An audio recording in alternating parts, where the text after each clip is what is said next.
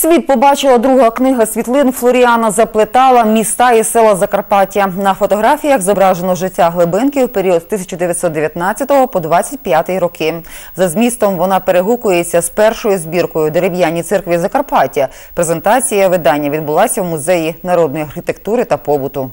Цих фотографіях історіографія Закарпатського краю, його краса та багатство. Світлини 90 років тому зробив відомий чеський дослідник Закарпаття Флоріан Заплетал. Вони розповідають, яким був наш край у минулому. Зберіг фотографії закарпатський академік Микола Мушинка. Любительські чорнобілі знімки високо оцінили історики та мистецтвознавці краю, які долучилися до видання цієї збірки.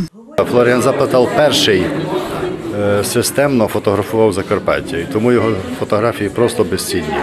Це, напевно, варто мати кожному мешканцю Закарпаття в себе таку книжку, і ну, принаймні вона є. Можливо, могли бути і більші тиражі, але добре, як є. Добре, що є так.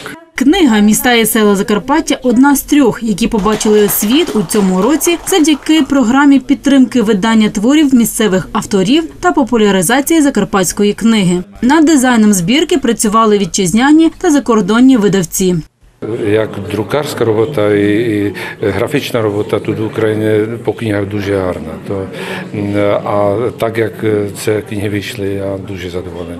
І наші читачі в Чехії дуже задоволені. Тираж книги Міста і села Закарпаття Чехословацької доби всього 900 примірників. Їх буде розподілено між школами та бібліотеками краю. Частина з них поїде до Чехії.